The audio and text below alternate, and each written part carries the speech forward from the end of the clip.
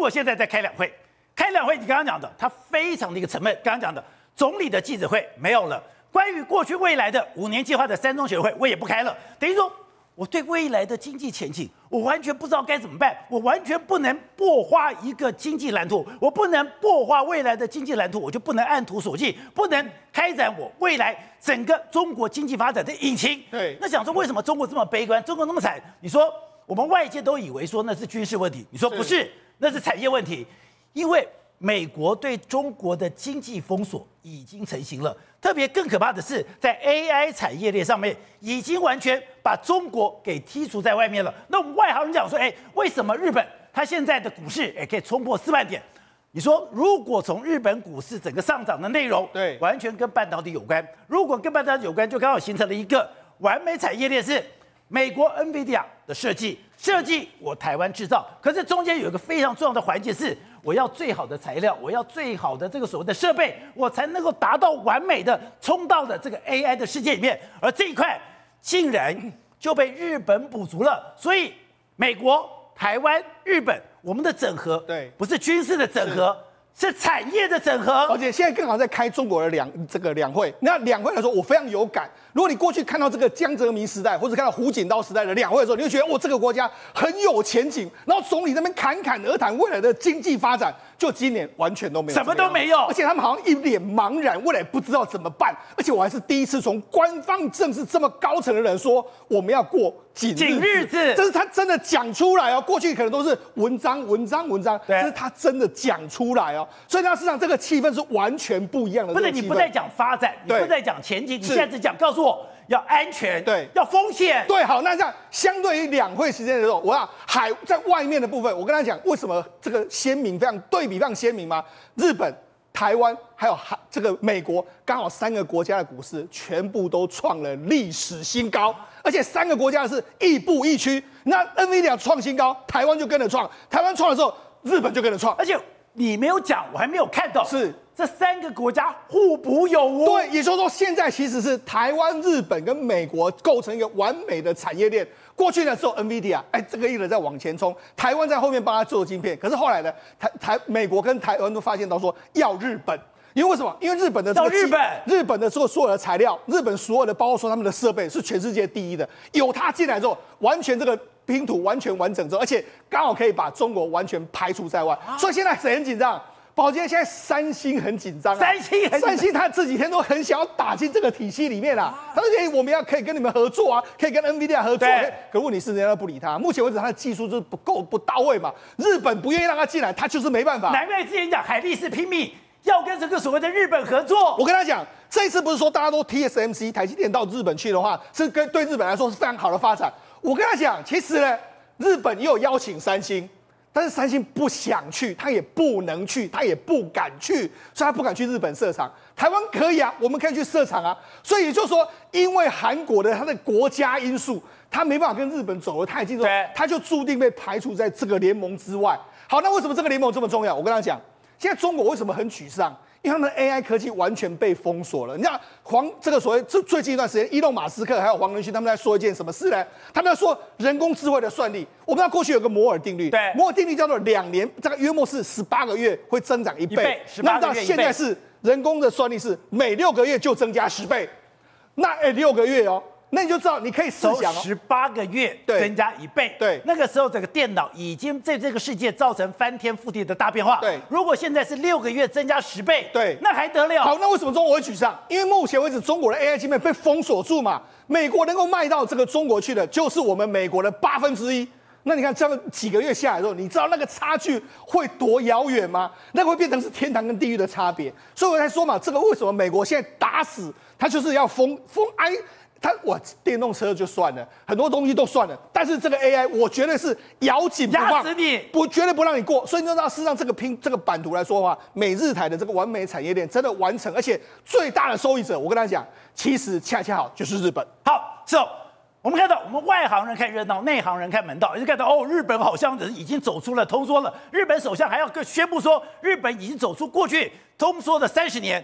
可是你说这关键不在那里，关键在于它最近在涨什么样的股票，而最近涨的这些股票，刚刚讲的，就是刚好弥补了台湾跟美国的短板。对。对，没错。像为什么最近日本股市创了这个新高？那如果你对比我们台湾创新高已经很厉害了，纳斯达克也很厉害。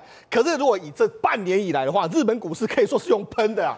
那去年的时候，我看到日本股市还在两万多点，现在已经来到四万点，一倍了。对，而且现在日本，哎，这个安田文雄过一阵子就要宣布说，我们终于走过了这个艰苦的三十年。那什么时候能够让他经走过艰苦的三十年？因为他知道我要跟美国跟台湾站站在一起嘛。好，那你知道为什么这样呢？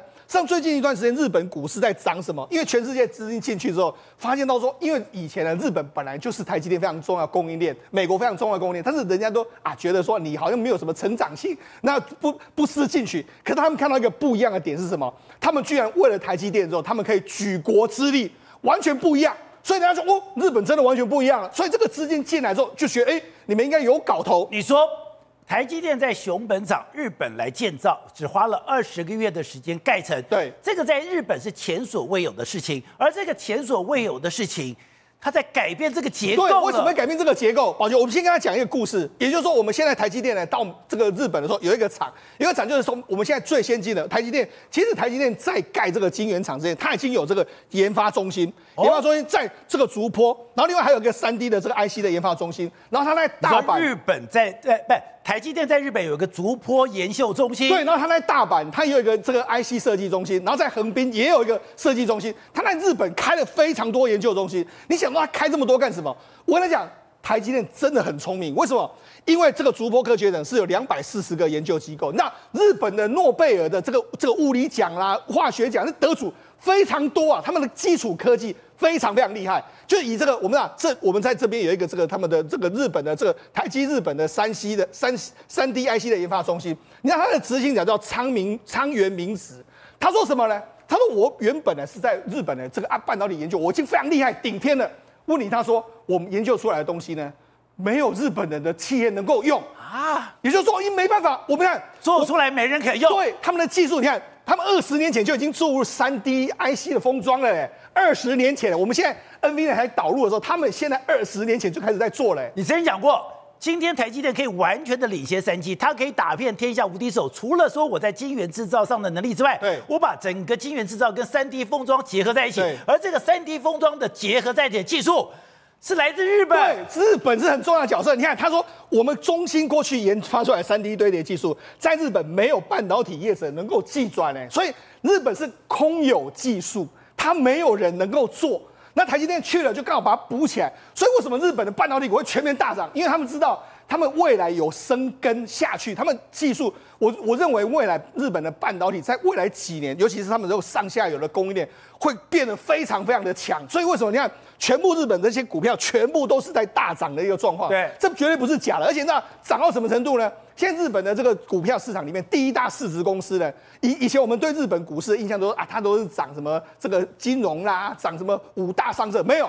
现在第一大是 Toyota 之后，你知道第二大是什么？第二大叫做东京威力科创，它刚刚好就是台积电，它的最大客户就是台积电。第三名叫做 Sony，Sony 就是这一次入股熊本厂，所以等于完全都是跟台积电跟 NVIDIA 完全接上边，才让这次日本股市呢完全翻天覆地的不一样变化。好，所以我们讲的日经有一个叫做二二五成分股，也就等于说我们今天哪做这个等于做的。好的股票的成分，没错。他现在怎么？哎，已经把这个什么水泥制造啦、所谓的金属啦，全部拿掉。对，拿掉这些东西以后，换上什么？晶圆切割、晶片设计。对，代表哎，你现在的好股票，就像这样讲，标普标准五五百的这种股票啊。对。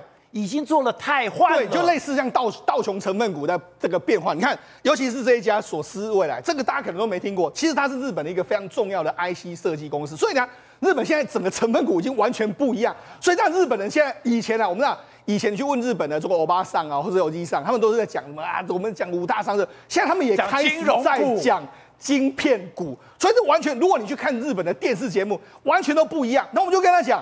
实际上，为什么这个台积电去日本日本市场很重要？因为原本啊，这个台积电里面那么能够做那么快，因为它里面很多供应链就是日本公司嘛，像未知数哎做位数的，然后以斐电的、信越半导体、JSR 这个福居 mini 啊、东兴威力科创、迪斯科，然后日日立先端这一大堆，这其实呢，我跟你讲，未来的这些供应链全部都挤在台积电的旁边，所以呢，事实上我们就讲，台积电已经养大台湾那么多供应链，这些。未来也会被台积电养大起来。以前张忠谋曾经讲过一个概念，为什么台湾半导体这个产业链这么厉害？因为我们从北到南，我们有一个两小时的这个，等于说我们当时台南发生事情，我的新竹、我的台中，我在一个半小时里面，我马上可以支援，我可以做最快的处理。就我们刚才讲，台湾是两小时，现在日本台日半导体的最强导链。是在建立了一个三小时的岛链。他说以这个九州为为准的话，三个小时之内的这个车程来建立相关的供应链。所以呢，这个我觉得这个未来非常有搞头。那你知道，事实上台积电现在一厂跟二厂了嘛，对不对？未来我知道的是有五座厂，五厂会有五座厂在这里，也就是说，美国的计划是要把这个地方变成是第二台湾之外的最重要的生产基地，就在这边。那美国自己本身，他应该会放弃他们自己本身的做不起来，做不起来，他们会放弃的。好，那那实际上我们跟大家讲，那也就是熊本二厂，你知道这一次熊本厂开幕的时候，我注意到什么？你知道丰田章男有趣哎，哦，他在旁，他不是站在最中间，他站在旁边的，哎。连一个 Toyota 的会长这么重要人物，他都不是站在中心位置，而且，但是他还是一定要去，还要去，你就知道说，市场日本是整个举国之力，真的非常的重视这个台积电这个案子。而且你说，今天刚刚讲那是强强联盟，强强联盟，台积电台湾透过这个日本的产业，是现在这个所谓的材料技术的合作，对。大家都会更上一层楼当然好，我们刚讲跟他讲，事实上大家就想，哎，未知数，未知数为什么也是台积电的供应链？它是做调味料，对不对？但是不是哦？那我们现在不是有个 AI 镜片，叫所谓的 CoWoS 的先进封装吗？它就需要用到 ABF 的载板。ABF 载板简单的说，就是说我们在晶片上面来说，我们用下面一块板子把它连接起来，跟这个电路板互相连接。那你知道这一块板子呢？发明者就是 Ajinomoto，所以呢，这个 ABF 呢，它叫什么呢？它就叫 Ajinomoto Build Film，也就是说啊，未知数做成的板子就叫做 ABF 载板。所以那是哎，那它就一九九九年它就做出来了。对，所以那是这个板子，对这个板子它的市占率是百分之九十做卫星的公司做的，全世界只有它会做。所以你就让你要这个东西，不好意思，你就只能够让它做。虽然这个这个加热这个固性薄膜，也就是说你需要用到这个东西，完全都需要用到它。所以叫 ABF 就是它是一个寡占垄断的这个局面。那那台积电现在进去了，对，台积电现在就跟他互相合作。另外一个是以斐电，以斐电也是一个封装的公司，他觉得台积电目前为止入股它，台积电很少会入股其他公司，他入股它，所以呢，那事实上日本的很多好东西啊，台积电去了之后，他为什么台积电也很愿意跟他们合作？因为他知道说，我未来要拉开跟这个世界各国的差距，一定要靠日本的技术，所以这样就可以理解说。为什么这个熊本厂二十个月可以盖好？对，那代表日本的决心。而且日本恐怖是，他冲从北海道，对，从九州四国能用的人都调过来了。你知道，实际上这一次的这个，我们知道这个日本的这个开工速度是破纪录，破纪，而且都比台湾盖的时间都还要更快哦。台湾快？对，台湾要六百多天嘛。那这个这个日本只有只有这个二十个月。那为什么他能做到这么多？那日本是怎么举国之力？那他们这次要拨给台积电的厂两座厂要拨一点二兆这个日元。那日本政府修改了上上下下的法令，然后岸田文雄，那岸田文雄后来为什么他不去？你知道因为他觉得说，如果去，因为我们补助那么多，怕会被选民骂，所以他就说，那我们就不要去好了，就还是去这个看看这个灾民。但是他还是说，哎，我们未来会支持第二座厂。那那第第一座厂已经破纪录，对不对？那日本官方的预估是说，第二座厂还要再更快。所以那还是比台湾快，还要比台台湾更快。那你他怎么做呢？日本他现在是说，他们找台积电找了这个鹿岛这个建设。那鹿岛先生他说什么？那他在盖的时候，他曾经说过一句话，他说：“哎，我们这个目前为止来说啊，我知道了日本的大型吊车大概就在这个地方了，全部都在这个地方。日本全国的大型吊车都在熊本。然后他聘了这个七千个员工，然后日夜赶工，而且那因为为什么？因为他是不夜城，二十四小时不断的停这个这个所谓工作。”那你知道吗？其实日本二十四小时工作是违法的啊，是违法的，不能够这样做。但是他们为了这个，他们就破天荒把这个修法令全部修改。所以为什么熊本厂盖完会让整个日本完全不一样？因为日本这一次真的完全拼了老命，他是想办法要从这个目前的世界上要争到一口气。过去大家讲日本明治维新呢，是因为美国的黑船把他们给敲醒了。但这一次啊，是台积电没有说，但你漏掉了一个人了，谁？唐凤。哦，他们讲唐凤现在是唐凤对日本很重要。哎，唐凤是正好讲哦，以前叫明治维新，对不对？这可以证明叫唐凤维新。来，宝哥可以看到右边，他们把它封为什么？世界最高的头脑，问题解决这个 IT 大臣，然后把它弄得这个风风火火的。但他们不知道一件事情，唐凤是假货，假货，在国内已经被出征爆了，然后这个速发部弄得一塌糊涂，不是连新潮流都要对付他了。可是不管怎么样，他这个。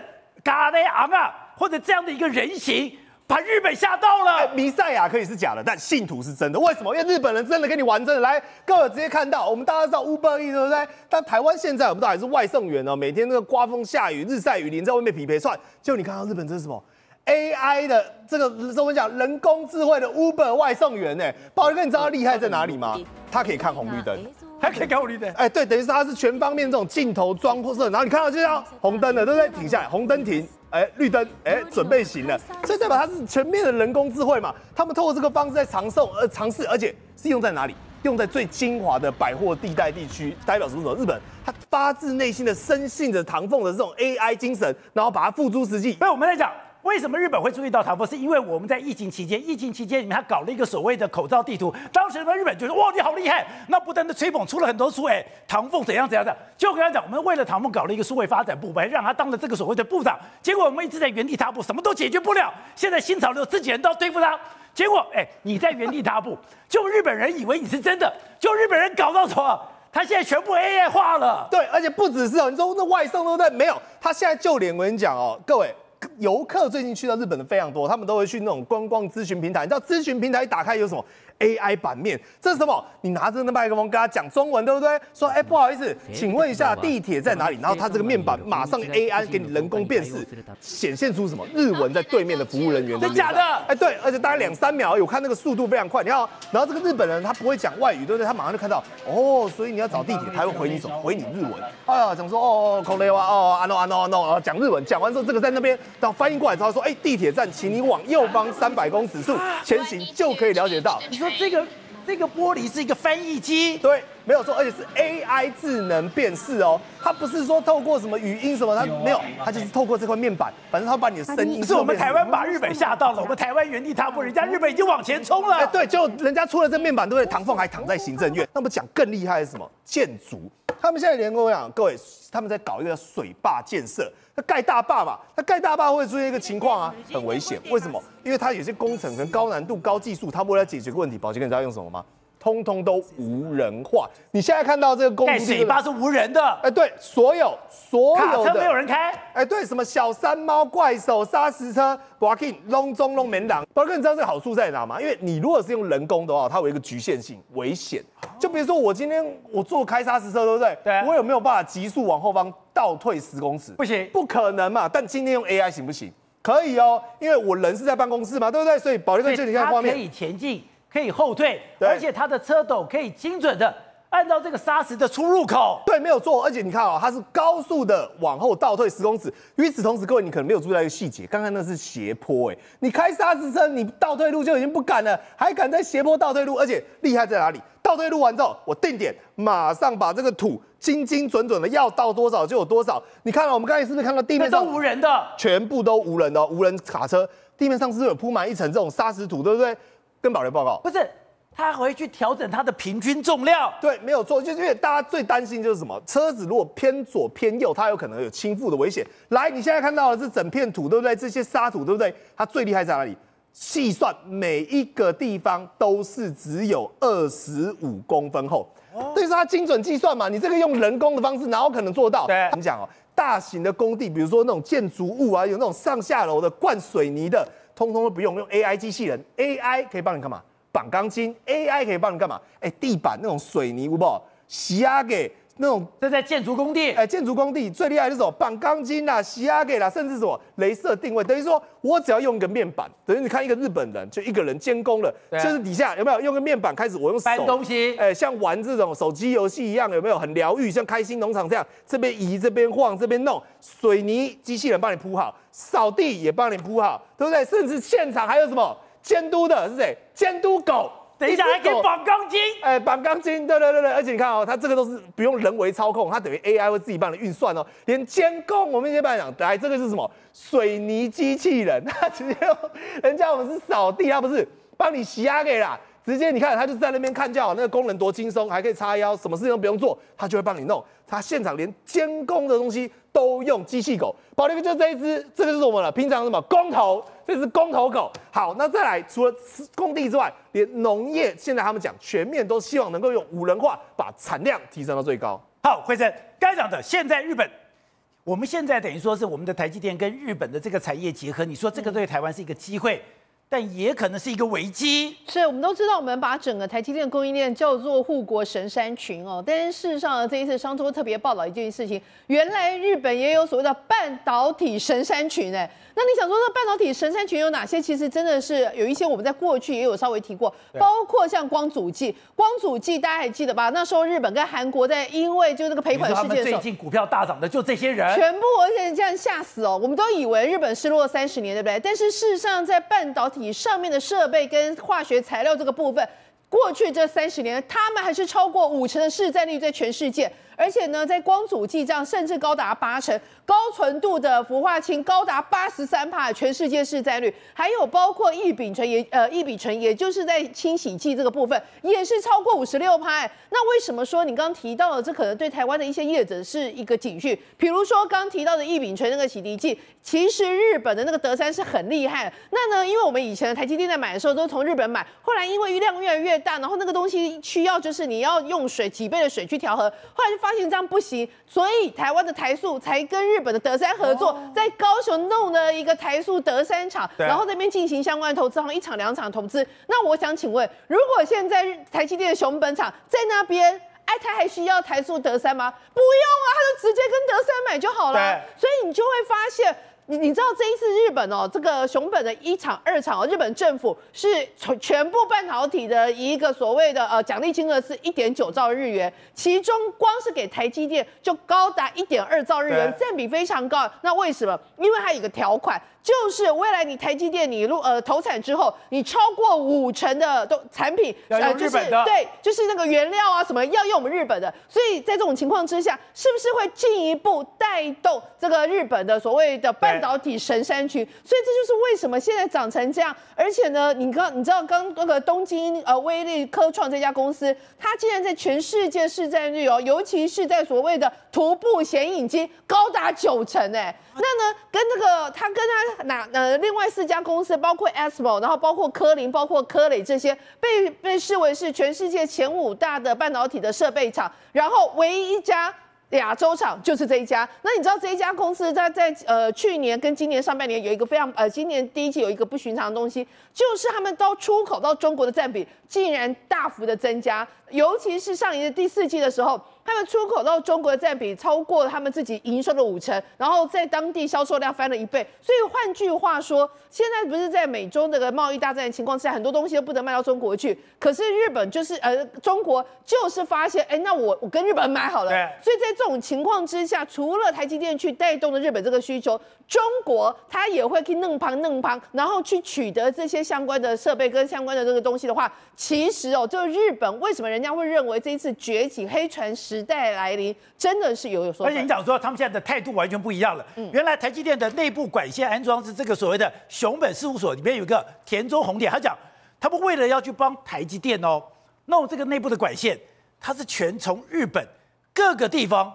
调派人手过来的是，而且呢，我跟你讲哦，就是那个鹿岛建设，鹿岛建设事实上被他们视为是这一次熊本厂可以在不断不在两年的时间就可以完成一个最大工程。它除了全从日本调来七千名的一个工人三呃就三班轮之外，它几乎他们就开玩笑说，把日本所有的那个机械吊车啊，全部都弄到这个厂，就是拼了命武士道精神也要盖一下这个东西。还有个最重要，其实很多人不知道，我们都认为日本的人工贵，对不对？但事实上就他们。就业市场来讲，他们是理那个文理科很贵，因为以前他们都商社全世界去买，所以他们就采买人员啊，然后这一些还有他们政治人物这个部分，文理科的一个薪水很高，经人才比较贵。对，但是理工科在日本的薪水竟然是低的，所以这个对台积电去到那边来讲，说就发现，哎。日本人修个后赢啊，所以才会认为令传令呃令和时代的黑船时代来临。美军呢在世界各地呢还有非常多的航母打击群，所以大家看到的都是那种具体化的这个呃卡尔文森号或者什么号数据，但其实他们最新公布的五角大厦，他们自己公布的东西，其实他已经告诉大家了，未来的世界呢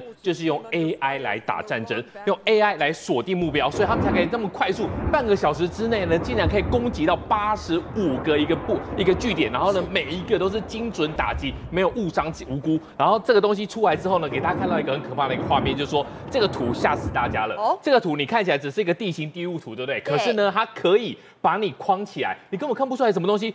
黄色跟蓝色到底有什么不一样？这个东西其实都是一些机敏设施，但是呢，它在这么近距离里面，黄色就是敌人的。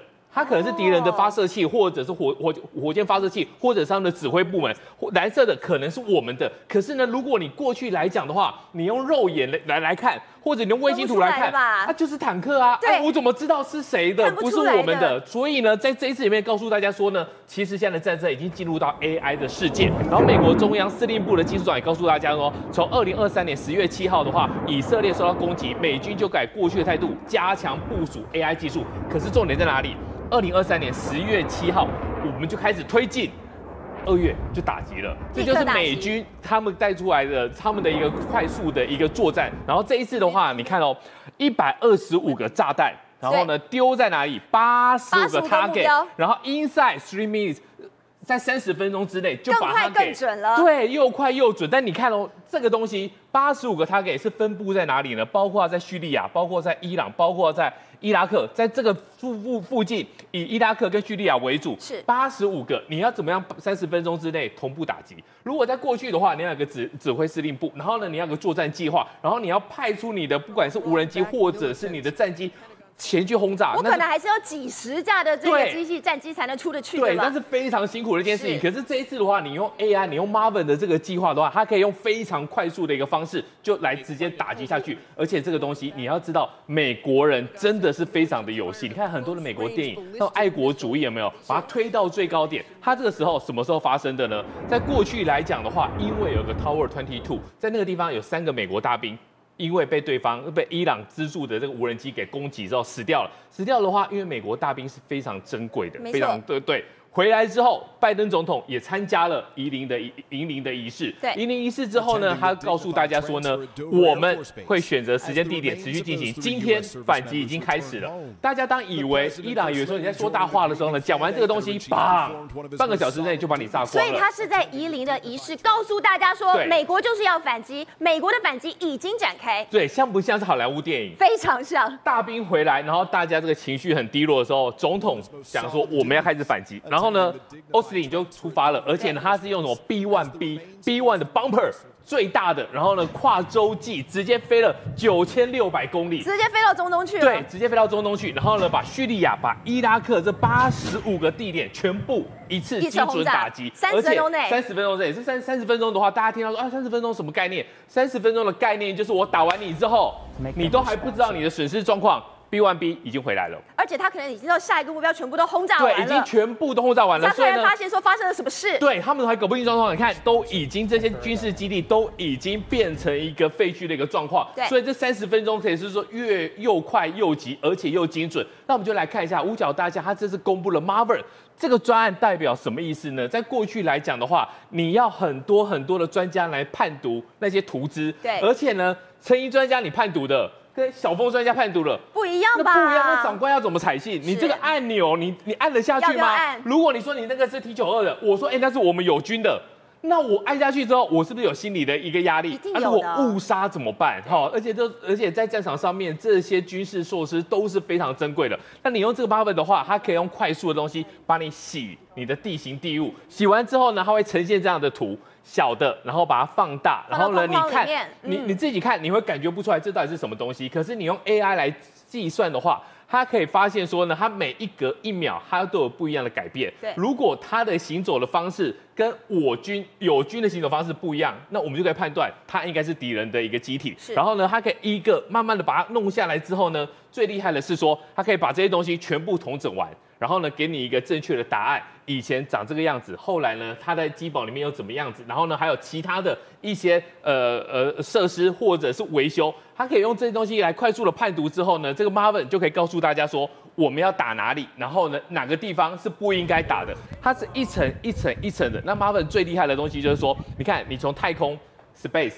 你根本看不到这些卫星在监视你，然后呢，再来你用用一个地形地物，然后呢，空中到底有哪些飞机，它的一个航向，而且它的一个走走势，然后呢地面，然后你还有在海面上面，当你把这个三 D 立体图串出来的时候呢，很快。我们就可以在三十分钟之内打击八十五个地点，而且我们是毫发无伤，可以安然的撤退。其实玉佛，我们看到了像这个 Maven Project，它一开始的软体是非常简陋的。那么大家也会担心说，哎，很多人都很怕说，万一今天 AI 过来反制我们人类怎么办？所以其实这专家也告诉大家说，今天 AI 是帮你判读，但是决定是不是真的要按这个按钮的还是人类。对，好，所以呢，你从这个基地原本它只是一个平面一个沙丘，有一个机堡出来，然后最后有一个发射。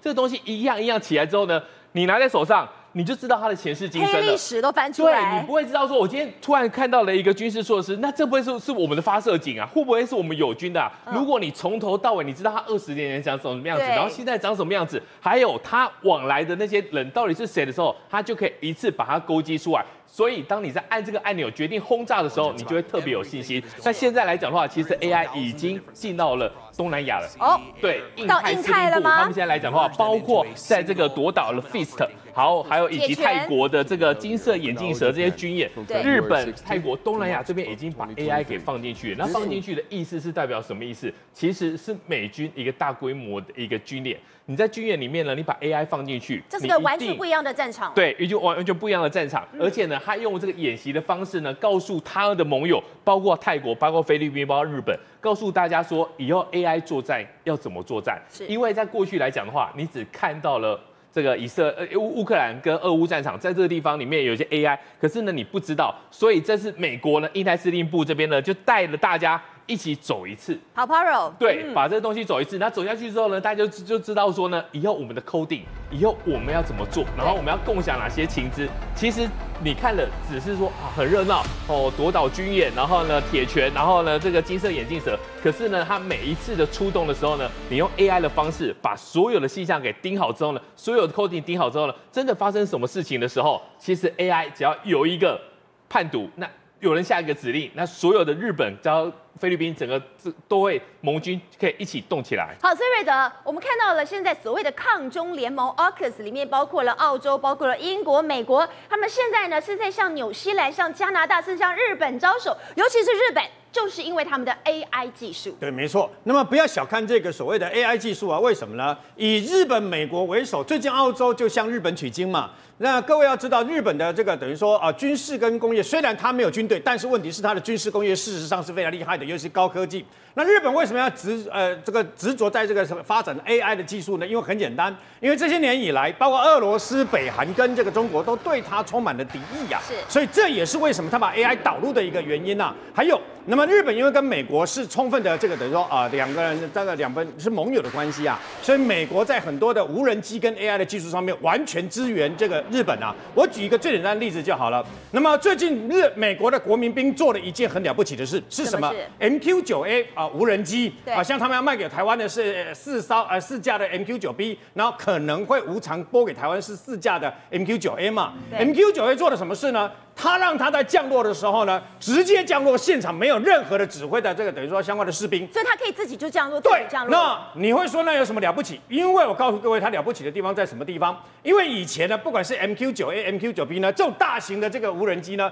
它都要它起飞跟降落的时候是最安最危险的时候嘛，所以现场一定要有一有一一大概是啊一个班左右的这个的阿兵哥跟指挥官呢要在现场。我看过他们其实就是在一个这个电脑机台里面，没有错，在里面操作。我们通常看到的那。个电脑机台对不对？哈，是在这个一个基地的那个里面，有点像是那个在打电动玩具嘛，哦，那是在基地里面的。但是它在降落跟起飞的时候，现场必须要有个随身携带的，像有点像是电脑化，那么有人在现场操作等等啊。以前必须这样做，现在不需要。哦，那影响有影，为什么会有影响？各位，它导入了包括很多的 AI 这个技术等等了以后呢，你有没有想过？这么大的一个无人机，它至少 MQ 九的系列呢，可以挂四枚的，有挂架的话，至少是四枚的呃地狱火的飞弹。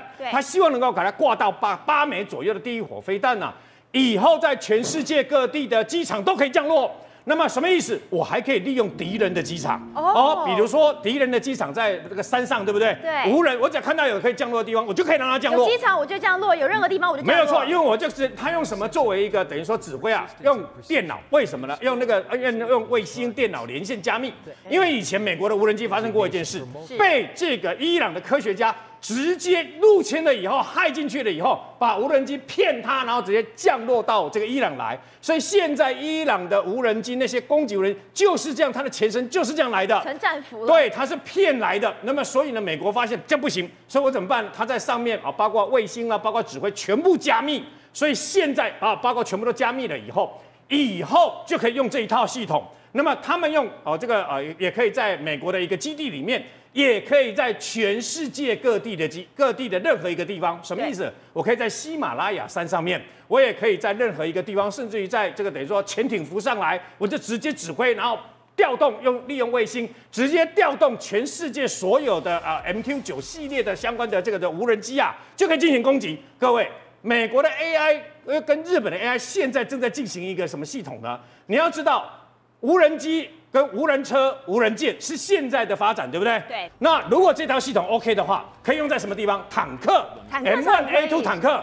为什么？坦克对坦克，坦克大对战，对不对？对我用 AI 导入了以后，我立刻可以分析哪里哪里哪里哪里，然后目标是什么？是敌人的，是我们的，是那个盟军的，什么样的坦克，立刻制敌机先。我们现在常讲说，三十秒钟之内就可以把它发射嘛。对他如果 AI 导入了以后，他如果几秒钟时间，三秒五秒就知道了，我就立刻砰就打出去。我们台湾其实现在不是民雄在弄那个无人机队等等嘛。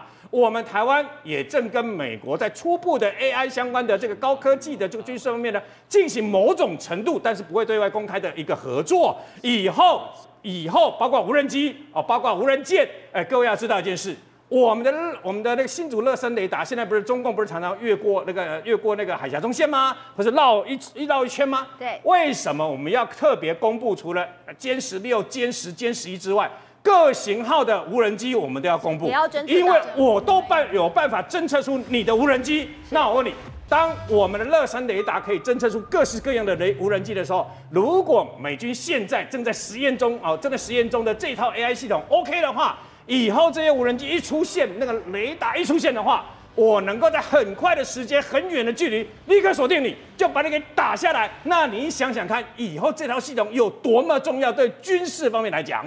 好，所以体会，我们看到未来的战场就是 AI 的战场，所以现在每一个国家都想要 AI。刚才瑞德提到了所谓的 AI 的这个无人机队，其实无人舰队现在也要出来了。对，你知道俄乌战争其实就是美国在测试这个 AI 的一个最初始的战场。我们知道这个计划，美国这个计划其实在二零一七年的时候就开始进行了，是但是真正落实到战场上的话，可以说是俄乌战争开始。其实我比较关心是今年的二零二四年的 RIMPAC，就是环太平洋军演。环太平洋军演环太平洋军演是两年办一次，是而在二零一八年的时候，中国被赶出去了。那现在来讲的话，它是要针对中国的。那二零二四年的环太平洋军演可能有一个看点非常重要，就是 AI 怎么运用在海战。就刚刚你提到的，在俄乌战场上面来讲的话，黑海我们看到很多无人无人舰艇在在那边跑来跑去。那事实上，美国在本土也在测试它的无人舰艇。其实我们在两年前东森新闻，其实我们也去了环太平洋军演，当时也是我去的。那个时候，我们其实已经看到非常非常多的无人舰艇、无人舰队。但是，其实就像廷辉老师你说的，今年他们要把这套 AI 系统全部都加到这个无人舰队上。对，他必须要做一个整合，因为基本上来讲的话，因为它有二十多个国家要参加这个演习，那基本上都以美国做为主的。那美国它只是一开始在测试，一开始测试的话，怎么落实到各个盟国都可以使用到这个 AI？怎么做数据分享？你看日本也在做这些事情，韩国也在做这些事情。那美军、美军、澳洲还有阿库斯，刚刚提到阿库斯，他们这些国家怎么去分享讯息，然后来做系统整合之后，然后做 AI 的精准打击？而在 AI 的怎么使用在海战？因为以后对中国来讲的话，就是海战啦、不是单纯只有陆战而已啊。因为美国怎么用这么大那个远距离的一个驰援台海，或是驰援东海、南海这个地方，包括在叙利亚那个地方，竟然被连续的攻击，而且呢是八十五个地点。那现在来讲的话，美军就直接披露了，他们也不演了，他们告诉大家说呢，我们在中东用一个 AI 的方式，用 Marvin 的一个团队来精准打击敌人的一个目标。他们用这个东西可以怎么样呢？它可以快速的去掌握到你这些民兵、你海上的舰艇，还有你的一个坦克车，他们都把你精准的运算，运算完之后呢，一次出动，在三十分钟之内呢，精准的打击了八十五个地点，甚至呢，大家还发现一件事情，说那个时候不是有美国大兵三个人在这个 Tower Twenty Two 里面被无人机攻击吗？对，那时候就讲出来，到底是谁弄的？就是真主党的高级指挥官阿萨迪，阿萨迪的后面就是伊朗，所以呢，美军第一时间呢去恫吓伊朗，叫他不要乱来，然后呢，阿萨迪就死掉了。一瞬间就死掉了。现在来讲的话，这个也是跟 AI 有关系。为什么呢？因为他们用一个地狱火导弹，在这个闹区里面哦，这车辆在行驶当中哦，你可以看到说，其他地方都没有发生事情，结果呢，砰，一个地狱火就精准打架起来，阿萨迪。当场死亡，那这个东西到底怎么样可以精准可以做到呢？其实就是我们刚才讲的这一个神秘的 Marvin 系统，这是他们的第八、第十八的一个空降旅。空降旅在这个地方呢，它有多少人呢？大概有九万多人。那这九万多人这个士兵呢，他把所有的东西全部统合在一起。你看哦，这些卫星，它不只是说来拍照而已，它可以侦测到这是什么东西。云层跟雨水还有烟雾，它可以整个透视过去的意思。对，它可以整个透视过去，然后呢，它可以把这些东西回传，告诉你说，如果你今天的轰炸机你要去过去的时候，你会遇到怎么样晴空乱流，或是任何的东西，或者是说，大家记不记得在乌俄战争场上面，你常常看到说，哎，怎么有个无人机拍着拍着拍着，坦克车就被炸了？那个状况其实就是也是 Marvin 系统就他们是在看的，对他们可以把一些。俄罗斯的大兵那时候还傻傻的不知道说，哎，我在哪个地方打卡？阿阿夫迪夫卡打卡，结果呢，打卡的讯息被他们掌握到之后，锁定了，位置锁定，然后呢，无人机就过去了。那这个东西，Marvin 来说的话，在乌克兰的战场上面经历了五十多趟的一个改进，这代表什么意思？代表他打了五十次的战争。在过去来讲，我们两国交战可能打一次战争。不管是一年或是十年，那就是一次的经验值。可是用这种方式的话，它就算是可以 update upgrade 五十多次。你想想看，它的精准度，它它的一个讯息能量是不是越来越大？而且这个五十多次是它每一次都会精准记录下来，每一次都精准学习下来。对，它有一个人工智慧学习。现在来讲，黄色的。就是敌人，蓝色的就是我们自己。然后你再看阿萨迪那时候被杀了，你看了连在马路上面一台轿车都可以精准打击。在过去来讲的话，这种事情做不到，但现在越来越有机会成型。但跟我们台湾重要的是什么？印太司令部有出来讲说，把这个 AI 系统、八文系统弄到了印太司令部。印太司令部管的就是哪里？负责台湾海峡跟南海。那现在来讲的话，日军、日日本还有这个菲律宾，还有泰国几个经眼镜使，他们的演习里面都是跟这个有关系。所以过去来讲的话，印呃台海这个地方跟南海这个地方的话，本来就是重点机会、重点的一个区域。现在 AI 已经全面介入了。另外还有一个战争就是 AI 的战争。这个 AI 战争，今天伊隆马斯克讲了一个数字，把我吓死了。他说 AI 为什么现在这么火红？他说 AI 每半年它的整个算力会增加十倍以上。哎。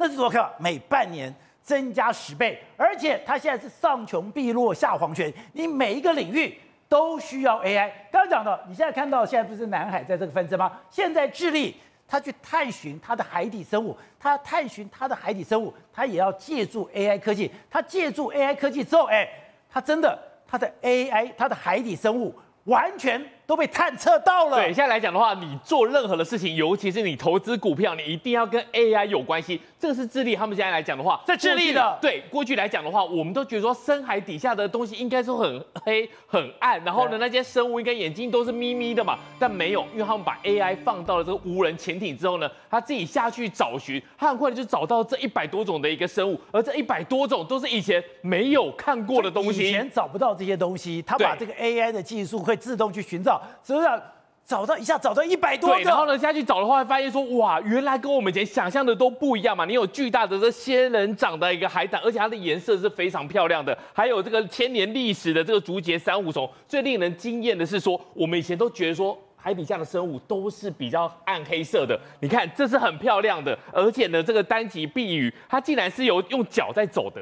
这在过去来讲的话，你根根本就是跟你想象中是完全不一样的。它竟然是用脚在走路，而且还有一个这么大的眼睛。在深海里面，大家想说你在深海里面的话，你不可能有一个这么大的眼睛嘛？这是生物。对，这些都是很漂亮的生物。那为什么说他们这一次可以找到？因为过去以以来的话，你在海底面，你只要往下太太压的话，你的水压会非常的痛苦。对。所以呢，他们现在来讲。他们可以把这种 AI 把它丢到这个无人潜艇里面，然后呢下去之后呢，它也不用传输，因为以前常常传输到一半就是断讯了。你想把它丢进去之后呢，你可以自己去把海底下面的水文，你可以去去研判说到底哪里会有生物，他自己去找。对，所以他下水一趟之后呢，就可以找到超过一百种的海洋的新物种。其实你现在看起来哦，你就觉得说。这东西好像是外星人哦。我们以前有看过这么漂亮的深海的一个动物吗？过去来讲的话，你很少下去，然后你下去一趟，你要花非常多的钱，然后呢，没有多久你就要起来了。但实际上来讲，你把 AI 就是那一只，对，刚刚那一只真的很神奇耶。在这种深海里面，既然你眼睛那么大，以前我们的印象是说你在深海里面都用，因为水压太压力太大了，你会把它压迫到，所以呢，大家觉得说海里面都是什么扁扁的。然后呢，暗暗的，现在没有，就有很漂亮的这个东西，小圆球，还用骑走路，对，而且呢，用骑走路，真的是非常神奇的。他们说这个一一百个物种，你要花多久的时间？它竟然就是一趟的旅程就可以用到一百种一百种的一个新物种，跟外星生物，对，真的是非常的可爱。但是呢，这些东西来讲，你弄完之后呢，你现在要回头去。探索它其实是非常辛苦的，因为一次来到太多了，这个东西就跟 AI 一样，AI 它一次给你太多的东西之后呢，你就会吓到，你后面的东西你要马上想办法才有办法来跟上。所以我跟他讲，我一下子拍了一百多种，可是我要消化，我要分类，我要去了解。我要花好几年。对，我们现在来讲，真的是要花好几年时间才有把办法把这个东西给消化好。好，所以现在来讲的话，不只是海底探险，你在家里面你也都有需要到 AI 了。这个东西是什么？以前有红过一阵子，后来呢就不太红了，因为大家都做得出来。iRobot 的扫地机器人，现在来说的话，它现在也非常厉害哦。它会先去怎么样？自动优先清扫最脏的房间，然后它放用用 AI 之后呢，放上你眼睛，它会避开你家里的东西。我以前买过第一代，我就买了个 iRobot，用一次就不能再用了。为什么？因为那个时候呢，我女儿有用那个乐高。那以前的话很笨，她不管，她就碾压，她就是啪啪啪嘛，她就是把你一个一直弄弄弄干净。对，然后我女儿看到了哎，robot 把他的乐高的人给吃掉之后就哭了。就不能再用了，所以它所到之处寸草不生。对，它就是把你碾压，但现在不会了。现在来讲的话，会自己感测，然后呢，你有脏的地方，我就先帮你去扫，因为你一天来讲不可能所有的时间嘛。你扫完之后啊，你还帮你可以可以拖地，那拖地的话，它可以感应到手压的力量，哪边比较脏，可以往下多多多洗一点。所以呢，这 robot，然后现在来讲的话。哎，那 Amazon 那 Amazon 他们也弄了这个人形的机器人，包裹机器人。对，包裹机器人。其实过去来讲，Amazon 为什么它的股价会越越来越高？因为它有一个 Prime 的会员，你在美国，你只要加一加一点点钱，你买任何东西都免运费。所以呢，大家都去 Amazon 那边买东西，用 Prime 的会员买。可是呢，还有一个问题，以前的机器人，以前它的物流要很大的卡喽，如果我不小心东西掉了，它整个会卡住，因为不能运送。可是现在来讲，它做成人形的机器人。它有手臂，然后它有跟人一样的膝盖。如果啊遇到不好的东西，或者是跌倒的东西，它可以站起来，它可以跨过那个包裹。所以呢，这是一个很大的一个利用。所以过去来讲的话，仓库已经有很多这种机器人。对，这种人形机器人以前都觉得说好像是那种科幻电影才会有的，现在都有了。但最厉害的机器人是现在来讲，你可以去煮咖啡，然后呢，最神奇的是它可以去做蒸奶。如果台湾的人就会知道，你要真奶，你要一杯真奶有多复杂？机器人做真奶，对，机器人要做真奶。你看一分糖，然后半糖、微糖，然后呢，你要加什么？加珍珠不加珍珠？现在来讲的话，它可以帮帮你精准的去调整你所有的珍珠奶茶，然后呢，你所有的咖啡。以前我们想要喝咖啡的时候，干嘛？看很多 YouTube 的影片，然后呢，学什么？学什么世界首冲冠军，然后去买他的东西。买了我还是冲不出来啊！可是你有这个机器人之后呢，你就买一台在家里，它就有办法可以冲出来世界首冲的一个冠军。所以现在来讲，这些机器人以后最终一定会走到你的家庭里头。好，那刚刚讲的为什么现在 AI 这么快？是因为刚刚讲，伊隆马斯克居然讲，对，每半年我的整个算力增加十倍。现在刚刚讲，现在苹果，现在包括这个像 Google，它的都面临一些危机。你怎么？你就算过去再成功，你过去再是伟大的公司，你现在没有沾上 AI 的边。你就完蛋了，而且 AI 的中心竟然在台湾。对，我们现在来讲这个话是谁说的？是 Elon Musk 马斯克讲的。他说人工智慧快速增长，这个人工智慧的算力呢，每六个月就半年会增加十倍。很多人就说，哎，啊你这个这个特斯拉半年十倍，对啊，真的很大。然后很多人就说，哎，你特斯拉做的也不好，你马斯克怎么讲这个？其实大家记不记得这个 AI 的风潮怎么起来的？Open AI，它的 Chat GPT，Open AI 以前。谁是最大的老板？就是他。当初 Nvidia 还很小的时候呢，是 Elon Musk 去跟辉达去订他的伺服器，所以当初的，黄仁勋。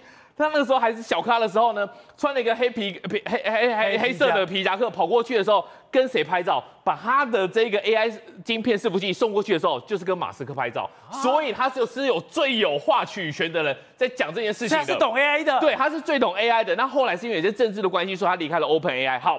那重点回来了，以前过去来讲，大家会觉得 Google 会出问题吗？大家觉得 Google 不会，它根本就是巨人嘛。然后 Apple 会出问题吗？不会。最近这两家公司都在衰啊。好，我们来看一下 Google 发生了什么事。它的母公司 Alphabet 最近来讲股价一直下跌，因为呢，它也做生成式的 AI。那个时候它先弄一个 Bard，就 Bard 呢还没弄完之后呢，他想去打这个 Chat GPT，一打开。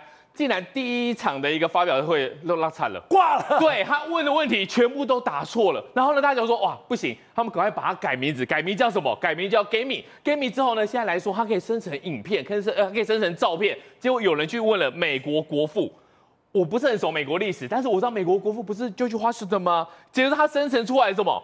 是一个黑人。你说哎，美国现在有一个音乐剧《汉密尔顿》非常火，他找黑人来演，当时已经很夸张，就啊靠这个。他直接就把美国国父全变黑人了，对，因为他们都是进步左派，他觉得说你不能有白人的优势优越感，所以呢，明明他历史上有一个人叫 George Washington，他是白人，他不行，他生成黑人，然后你去生成德军，德国二次世界大战德军的时候呢，他也变成黑人，变成就要进步左派，对，进入文，然后变成亚裔，然后呢女兵，你就觉得这个历史都完全不一样，然后桑达皮确就说他出来道歉，他说这一定是不可以原谅的一个错误，如果你今天要去问德军。他会生成这种样子。对，然后呢，他现在来讲，三哈皮确他改不了这个东西，因为你上面的指令下达不了，因为他们下面的员工自主性非常高。你仔细看，他们这个想法是对的哦。他们觉得他们是进步左派，他们要扭曲这个。以后你去 Google。你去查影图片的时候，如果小朋友没有读过，他会不会以为真的这个就是国父？他们美国的国父。所以现在来讲的话，这个股价就一直往下。然后呢，这个 Apple 也是，Apple 到目前为止还没有办法走出 Siri 的一个困境。很多人就说 Apple 它出了一个笔电，然后图形师就说我们也有 AI，我们也有 M3 的一个晶片。可是 M3 之前就有出了，他突然拿出来卖，然后告诉大家说什么这些东西都跟 AI 有关系。可是大家网友。大家买不买单？大家就说你那个 Apple 的手机，你那个 Siri 每次叫他干什么，他只会回答一件事情。我不太懂你的意思。如果你这个东西跟不上的话，包括 Google 的母公司 Alphabet 跟 Apple 的股价，我觉得不会好。不是，我们在刚刚看到了伊隆马斯克在讲所谓的 AI 生成的时候，哎，真的会有一种精细核细的一个感觉。哎，他是最早看到 AI 实力的，后来他觉得 AI 实在太恐怖了，他就转去做特斯拉，就跑去做那个 SpaceX，就没有想到过去，哎，他是王，哎。过去它的股价是轻嘎两倍掉哎，就现在辉瑞已经是全世界第三大市值公司以后，我们来看特斯拉嘞。特拉特斯拉是腰斩又腰斩了。宝哥人生最痛苦的事情呢，就是你看着过去的无下阿蒙，如今爬到自己的头上，这个就是 Elon Musk 最好写照。有这么惨吗？请问第一个找到 AI 是一个商机人是谁？是 Elon Musk，是他看中这个商机耶。结果他眼睁睁当时辉达还找来合作，还来拜托他把他当老大哥哎，看到他也欣喜若狂哎。他说哇，你拿我的订单太好了。结果。后来也是因为 AI，马斯克放弃了这个战场，放弃了这个场域嘛，失之交臂。就最后面谁爬起来了？回答，NVIDIA 爬起来了。公开报告，NVIDIA，你仔细看啊，这个真的是叫做黄金交叉。NVIDIA 近这个十八个月股价涨了七倍八倍。结果你看 Elon Musk，七倍八倍。哎，对，因为他握的什么 AI 商机，就放弃 AI 的马斯克产生什么状况？股价从年初到现在跌了百分之二十五，只剩下一百八十八块美金呢。哎，各位啊。之前我们讲它最辉煌的时候，那时候电动车倾尽一时的时候，它应该是倒过来八百八十一才对。怎么现在这股价变成这样子？因为理由很简单，它把所有的筹码都倾注在只有电动车上面。对，那你会倾注在电动车上，原本是没问题的嘛？对。但遇到一个大问题啊，中国，中国遇到就我现在看到了电动车，我看到了中国市场，我把我的电动车带到中国，没有想到。把自己带到地狱了，哎，对，就遇到个倒霉鬼，自己变得更倒霉。没有想到，原本想说我技术转移，把我的工厂、把我的生产线拉到中国去，可以 cost down 来增加更好的精品，就没想到不是，因为你让你原本的精品变成什么了？青菜拔辣。中国把特斯拉的电动车变成了青菜拔辣。我想从一个数字来，各位你看就知道，以前特斯拉在卖，二零二二年那个时候还算欠个两倍雕嘛，对不对？它的毛利率有多少？百分之二十五。哎，很了不起哎，卖车厂可以卖到百分之二十五，算是很厉害。这个叫什么科技业水平？就到了二零二三年，变成只剩下十八趴，还会继续往下掉，这种接近快变传统产业了。因为它不断的在降价，它不降价，它就没有办法跟比亚迪竞争了。哎，对，而且比亚迪这个人呢，心狠手辣，到现在为止，各位讲哦，还要继续哦，因为为什么？原本的整个电动车的核心概念就是电池，比亚迪跟你讲没有，我们今年度电池又可以成本 cost down 百分之二十二，一直在玩 cost down 嘛，所以各位你看到现在整个价格战杀到多惨烈，哎，特斯拉哎，他在讲哦，我们现在要折扣，可能说，哎呀，从这个三万四千六百人民币，哦，这个叫做什么？还要再折扣，折扣十五万块，我这只给一个数字就好了。台湾特斯拉一台你知道卖多少吗？Model Three 卖一百七十万，就卖一百七十万嘛，你说在台湾。卖一百七十万，那中国呢？哎，八十万，八十万，哎，原本是这样。各位，这件事情我先前几个月前才跟大家介绍过，那时候我讲说，哎呀，中国市场比台湾便宜大概三十万，对不对？你看速度有多快，我去看之前的关键，几个月超变八十万了，吓死人哎！难怪你现在看到。特斯拉的感觉跟以前不一样了。我刚刚报告，这个叫做价值毁灭。宝杰哥，你能想象吗？我本来砸了三百万开了一台特斯拉在路上，结果隔了五年之后，我看到一个大神，看到一个大妈，看到刚毕业的上班族开了三十几万电动车。哎，兄弟，我跟你一样都开电动车。我本来开电动车，我生活样，我是跟布莱德比特一样的，我是跟这些好莱坞明星一样，我很 s h a p 可是现在。跟中国大妈一样了，对吧？所以他就把它完全毁灭了嘛。而且最可怕的在哪里？中国还有完没完？他没完呐！因为以前哦，特斯拉你知道，它厂牌推出了，它为什么都只有几款而已？哦，就是比如说 Model Three 啊，Model Y 啊，然后都没有几没有几辆嘛，对不对？因为它重质不重量，就像你去找那种名牌店，它不会给你这五花八门的款式，就是这样子。但你知道它现在精品惨到什么程度吗？它的 Model X 跟 Model S。这是它最顶级的产品，宝哥，你知道它卖了几辆吗？呃，四十七辆，四十七辆，十位数，有够惨，根本没人要买。而且你知道更残忍的是什么？现在中国这些人哦，真的发了狂。你说我，包括他们有一些什么比亚迪啊，然后这个未来汽车啊，他们讲小鹏汽车啊，就一年给你推三十辆、四十辆，而且说三十辆不同的车款。哎，对，你知道为什么他没有办法设计这么快？他们平均统计哦。一般正常的精品汽车哦，可能大概四点三年才能推出一款新的大改版，但是他们不是哦，他们六个月就可以。宝林知道为什么吗？啊，它差别在生产的方式不同。以前那汽车就是一条一条龙，比如说我先做一个板模，然后开始测试，测试完之后再旁撞测试，它有一个产线。但中国不是，他们用想的哦，就我直接电脑绘图哦，这个 AI 生成然后设计，把你通通画出来之后，管他的，反正我们就同步一起先做再说。哎，你知道成功了怎么办？成功就哎，good job。失败怎么办？掉到垃圾桶里面，管他的，反正我就要去修。他没有成本概念吗？对他就是，反正我同步都是用电脑上模拟嘛。而且可怕在哪里？你以为他是用烂东西吗？不是哦，以龙咖喱用雄厚哎。反正呢，我就是地大物博，资源多，我给你硬搞。比如说他们现在最近哦，你像未来推出一款车子，它这款车子号称说什么？我装载了包括这个四个英业英伟达的这种晶片，而且晶片之后呢，我所有东西都用最精简的方式保。你知道为什么吗？它要等待未来可以再升级。等于是我用一个最高规格的产品原型进去，轮胎、引擎、外装，然后包括里面的晶片、电脑设备，什么 Orin 都用最好的。然后我等待什么？未来软体可以更新，再更新，再更新。所以代表它根本没有要停下来嘛？但这样会不会付出什么代价？当然会，就是制造出一大堆垃圾。宝杰哥，你知道现在在中国，除了我们讲哦太阳能板之外，还有很多垃圾，哎，坟场。电动车坟场最多，为什么讲说电动车坟场最多？这电动车坟场，哎，对，因为呢，他们现在各地哦，就是属于那种大量，我一我三年推三十台车子，那其中有二十九台车子肯定不会中的嘛，那反正我中那一台，我再继续推叫，那剩下来的变成什么？就丢了，啊，丢了。宝哥，你仔细看哦，这每一台是有个特色哦，龙谁做赶快，长得一模模一样样嘛，代表是什么？同一批生产出来，同一批，我直接新车直接改单都可以。好，所以另外就是。现在全世界都在防堵电动车，现在美国紧张的要死，雷蒙多曾讲，我不要让中国电动车，你有互联网能力的电动车不要进来。他说不然的话，你让他进来了以后，美中国是有真的有能力。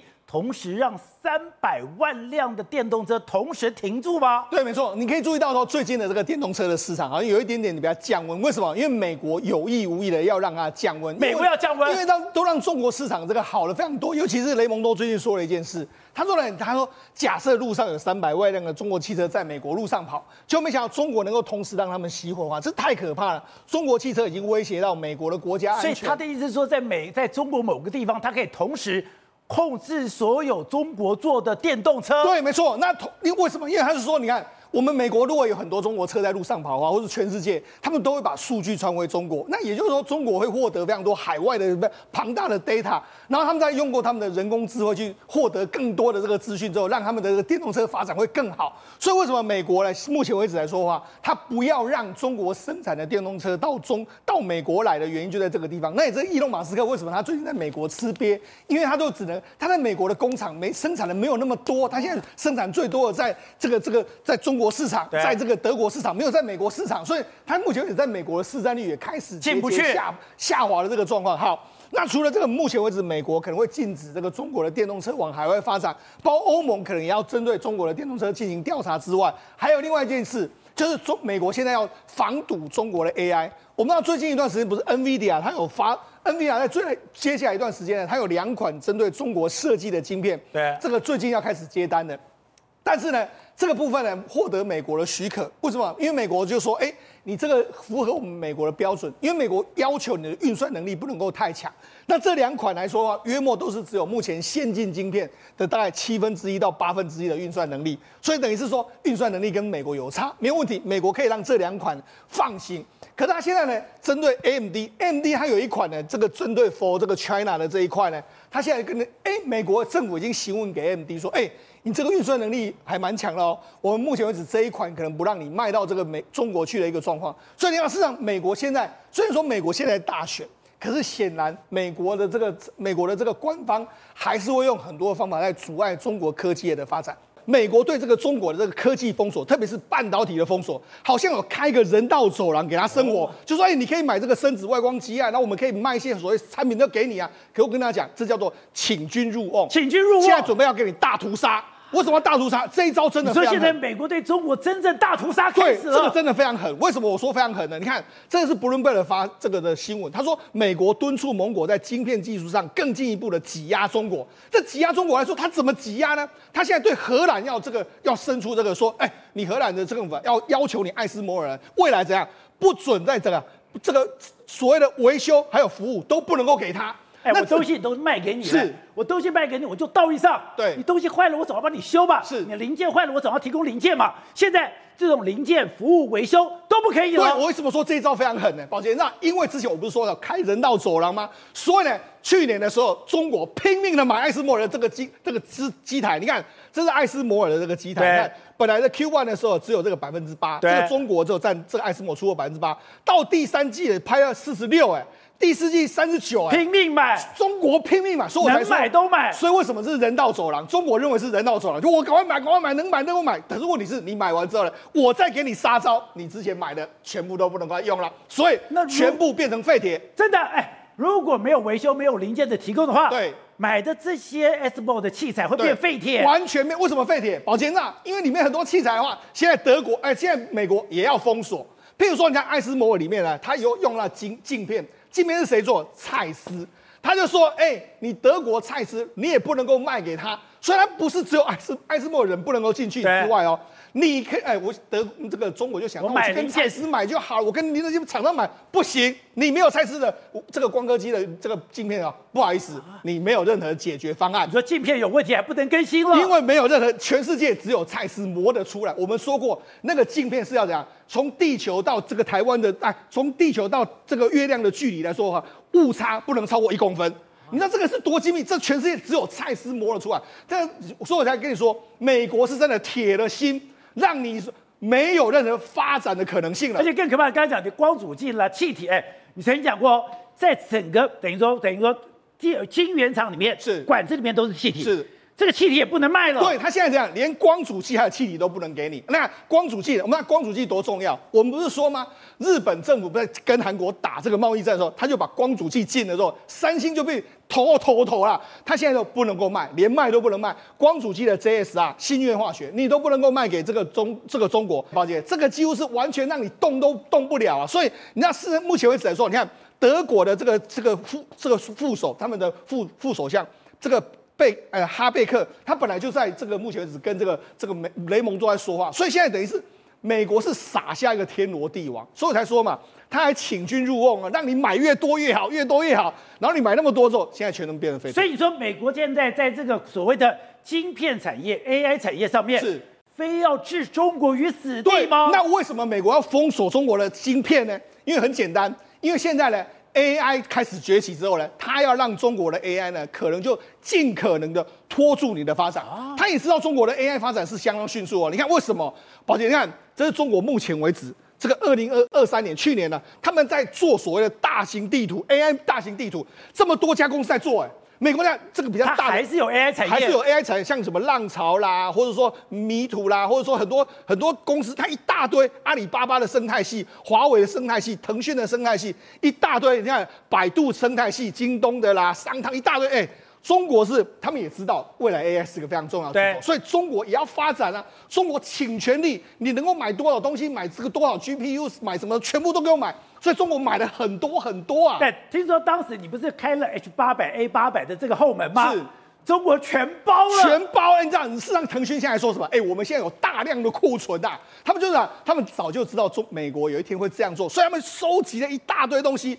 但是呢，没关系，美国现在就是这样，过去就让它过去。你五 A 然后 walk in，以后我现在这个我我刚才讲嘛，先断你这个 A 八百 H H 八百这种所谓晶片的后路，然后你要自己做呢，不好意思，我再把你断。所以现在等于前前后后把你围得密不透风，任何一点空隙都不让你活。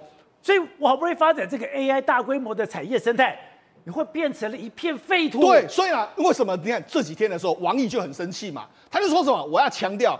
在人工智慧上，如果搞什么小院高高强化，会犯下新的历史错误，不仅阻挡不了各国的这个这个科技发展，还会被破坏国际产业链的供应链完整，削弱人类应对风险挑战的能力。哎，他特别挑提出来 GPU 的高禁令，所以你就知道，哎，王毅说了这么生气，你就知道说他这个 AI 真的是打到了中国的痛处嘛。而且为什么美国现在敢做这件事情？原来美国有一个智库，他去做了研究了，是做了研究了以后，他发现之前。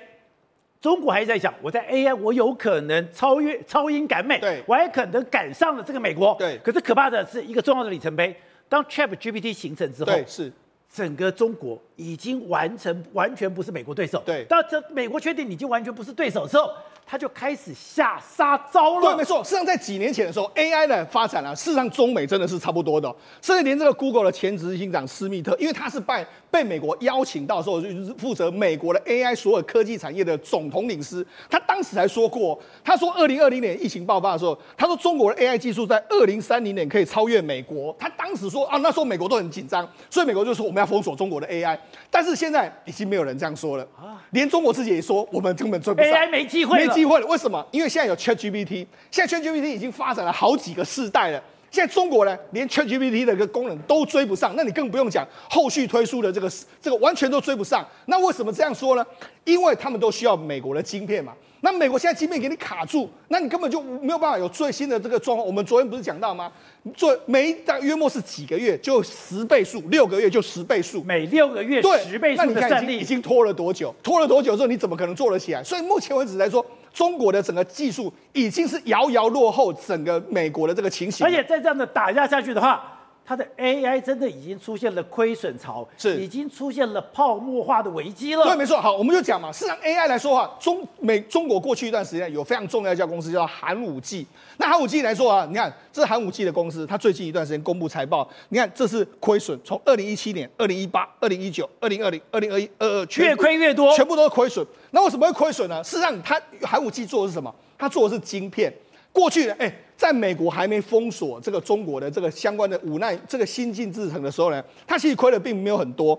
但是后来开始封锁之后，因为它没办法做出晶片，没办法，因为它下单给台积电啊，下单给这个国外的这个晶片业者，没办法下单之后，它就开始不断的裁员，不断的裁员，不断的裁员。你看，它现在在去年上半年，二零二二年的时候，它的这个研发人员是一千两百七十个人，现在已经降到九百零八，而且现在一直不断的降，一直不断的降。很多项目都说，哎，我们已经不做了，放弃了。就是说，很多项目做不下去了，不做不做不做了。那事实上，现在为止来说，寒武纪整个研这个实力相当相当糟糕。那为什么这样说？第一个，寒武纪过去一段有有一个叫做梁军，梁军他最重要是什么？他是跟他从华为跳槽出来的。那从华为跳槽出来的时候，早年。他们跟华为有一些相关的研究计划跟合作，但是后来华为就说：“哎，那我要自己发展。”再加上说，美国对于寒武纪就直接把它列为说 AI 的这个制裁对象之后，他拿不到新晶片，他就变成是持续亏损，而且走不出泥淖的一个局面。所以现在在中国的 AI 产业，你要么就是亏损，另外一个状况就是你所有的创办人一个一个去值了。对，我们刚才讲的 AI 的这个晶片之一来说，就是寒武纪，还有另外一个公司非常有名，叫必任。必任，而且必任呢，原本被认为说是中国最有可能挑战 NVIDIA 的公司，啊因为什么？因为他在做这个挖矿机，挖矿机就是要有很多 GPU，对哎，他的技术算是不错，世界数一数二的哦。所以他如果把它转成做这个所谓 NVIDIA 的这个所谓的他是有能力的对，。他有能力哦。可是问题是，美国已经封锁他，美国在去年开始封锁他。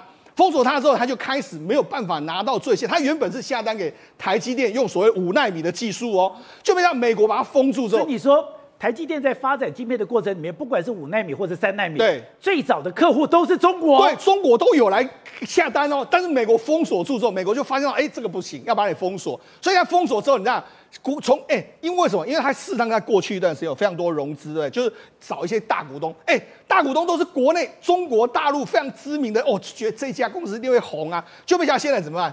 现在联合创办人焦国芳，还有联合创办人之一的徐林杰，他们现在都已经离开了，因为什么？他们说啊，没有这个这个产能之后，我们还玩什么玩？所以你看，事实上现在中国国内，我就想，现在全世界在墙外的这个 AI 是一片活，这个生龙活虎。你看台积电今天又创了七百五六十九块的这个新高，全世界大家都在这样，但唯独你们不讲，中国是相当相当的沉寂跟相当的落寞，因为它完全玩不到这一场 AI 盛宴所以。它已经完全被剔除在 AI 浪潮之外。对而且美国现在对中国的封锁多么无情、多么残忍、多么凶狠，可以从一个例子看出来。我们这不是讲吗？当时像 Porsche 很多像我们那个什么很多的车子进到了美国的港口就被退回去，退回去之后就说哎不行，你这上面有中国的零件，就把把这些厂商吓死了，吓死以后他们赶快去赶快去调查才妙了。原来这些他们讲到这些汽车 Porsche 的这些很好的车子，只是用了一个小小的设备，这个小小的设备在这个车子里面九牛一毛，没错这非常一小部分，是连这个都被美国抓出来。你只是因为这个零件用了用了中国的零件，就被美国踢出去了。对，你就知道说，从这个案子就知道说，美国到底对中国是多么的封锁的，多么夸张。这可能连这个这台这是什么车？Volkswagen 他送到美国去的车，原本要运进去的时候，美国就跟他说，不好意思，你这一批完全不能进。Volkswagen 当时还傻眼，为什么？他说你们有一个这个变压器里面的一个小零组件，这个他还把这个批号都说出来，照片都找找出来。这个呢是中国一个叫四川经纬达科技制造的。对那这家公司呢，是我们因为还有违反所谓劳动的这个新疆劳动相关的，被我们列入实体清单。你居然有它的产品，就呢，Volkswagen、哎这么大台的一个汽车，这么小一个零件，因为这个小零件，车子就进不去了。而且车子的话大概有十万个零件，美国就找这个零件出来。那总之这个出出来之后，Volkswagen 自己还不知道为什么，因为他说，哎、我们查了我们的 Tier One 没有，就他是怎样包来包去，包来包去，他包了好几层之后有这家公司，就他才发现哦，哎、真的这样。就那他就赶快傻眼，我说我们会马上换。就另外一个，人家现在又调查，因为在这个所谓经纬达公司上面来说，有 B N W 的这个 mark，、就 B N W 马上就说，哎、我们没有生产，就这样大家都多害怕。所以你知道，事实上目前为止来说，你就知道美国对中国的追杀到底多夸张。一个十万个零件里面，他居然可以找到那一个中国的零件。好，辉成，刚才讲你过去是跑石化产业，你说这个真的非常恐怖是。现在不但是说你 SMO 不能卖，SMO 就算卖进去了以后，你现在的维线零件的维修你也不准卖，包括哎，你说那我就跟零件厂商买嘛，我跟蔡司买，蔡司不准卖，包括我在这个做这个所谓的设计过程里面，我需要很多的光阻剂，我需要很多的气体，这些气体也全部把你封杀，真的上穷碧落下黄泉。更可怕的是，他居然把中国原来秘密建立了一个管道，这个管道是要跟西方世界来学这个晶圆设计的比利时公司。这比例公司我们从来没听过，对现在连美国都封杀了。是啊，事实上呢，呃，美国现在之前应该说过去两年啊，进行一个 Chip Four，Chip Four 呃 Chip Four 就是要把什么美国啊，然后日本、韩国跟台湾联合起来，建立一个排除中国的一个供应链，尤其在晶圆半导体这个部分嘛。那现在一步一步，所以为什么日本在过去呃去年的时候宣布有十四项非常关键的化学品不可以出口到中国去，就是因为美国老大哥一声下令之下，那现在这一把手，可能连欧洲的这个后门都要关上了。为什么？因为最新的一个啊外媒报道哦，他说呢，呃，本来哦，在从早从二零一一年、二零一三年，甚至到二零一五年，欧洲有一个半导体研发重镇叫 IMEC 哦，这个单位事实上它是非常多的国家，有七十多呃七十个国家，三千五百个人哦，都在这个 IM 呃 EC 的这个地方在工作。然后呢，他们在过去的一段时间，曾经跟中国进行一个合作，合作到就是说，哎，有一些技术上我们可以是互相交流的，甚至在什么时候？二零一五年的时候还成立合资公司，哎，结果后来最所以你说，中兴还可以活得下来，华为还可以先活得下来，是因为他们建立一个我们平常没人知道的管道是，他跟比利时的这个 IMEC 公司，对从这边学到最新的技术，对现在也就这个技术变成了最后的这个活命药单了。但是可能也要被关上这一道门了。为什么？因为根根据最新的媒体报道，他说我，这个 IMEC 已经开始转向了。中国这两个字在晶片产业里面等同于是脏话，等同于是脏字啊。美塞跟比有关系，有关系的话，马上就会受到美国的压力，直接告诉你就是来到美国的压力哦。而且美国的目的是在干嘛？就是在切断中国获得先进晶片的管道啊。所以把话说的非常的清楚，哎，美国现在施压，欧洲这边也要切干净跟中国这部分的关系。所以在晶片产业里面，中国就像一个脏字，对没人敢碰。对，而且你要知道，我刚刚特别提到的这个 IMEC 哦，它事实上不是一家公司，它有点像是一个研究机构的一个概念在，而且这个研究机构每一年哦是都从欧盟补助一点三四欧元哦，所以那时候他们有一点是要建立一个，就是说半导体世界的一个呃瑞士中立国，所以呢，任何国家跟我只要有一个相技术相关的交换，原则上我都是可以合作的。所以你知道，刚刚我们提到这家公这个单位什么时候跟中国合作？最呃，二零一一年他们已经有开始一些讯息。最重要是，竟然在二零一五年的时候有一个画面，你知道吗？包括比利时国王呃菲利普，还有跟习近平，还有呢其他的一些相关的代表，竟然就跟到到中国去访问，然后呢签了一个合约。签这个合约是什么呢？就是他们有四方要进行合作，然后呢各自持股啊、呃、什么两成啊三成的一个情况之下，要弄了一家公司所以。这 MSEC 跟中国的一个合作是比利时的国王对。跟习近平两个人一起开会，一起签下的这个协定。那对签下这个协定，现在在美国的压力下，要把它给打叉叉了。是要这个合作要进行终止，而且你知道他们就说他们是包括刚刚提到的 IMEC 啦、中兴啊、华为，还有高通，现在连高通都在这里面成立这家公司，就叫什么中芯国际集成机体电路公司。然后他们当时 IMEC 的那个呃执行官哦，还说哦，哎呀，这我们这个合作其实我们是看好，非常看好这个市场。最重要一件事情哦，我们是要从十四纳米啊，做做这个合作的机台啊，然后其持续往下。我相信这个基石哦，将有利哦全球的这个机体电路的发展。记得他们的合作时间点是什么？是二零一五年呢。所以从二零一五年一直到现在，已经过了几年，过了九年了。为什么突然喊卡？就是因为发现美国现在步步紧逼，这个整个亚洲、整个美国这边已经确定说不能跟中国逃来暗体之后，连欧洲这个门也要把你给关上。所以呢，现在大家都在讲，那中兴呢？中兴还好吗？中兴现在状况如何？现在最新的一个报道出来啊，他们的报道是说，对我们中兴还是从七纳米继续向五纳米挺进。我们现在中两兴可以搞五纳米，哎、他现在他们报道说，呃，我们现在向五纳米挺进，而且呢，我们现在是七那个大概良率是在五成左右。可是我跟你讲，关键就在他财报当中，因为很好笑，他说二零二三年我们业绩不好哦，然后呢，呃，营收只有六十三亿啊，比二零二二年少了。可是你看那个那个图里面，你有没有发现一件很有趣的事情？你看它的一个金元收入里面的分析，你会比较蓝色的二零二三年跟那个最右边的二零二二年第四季度，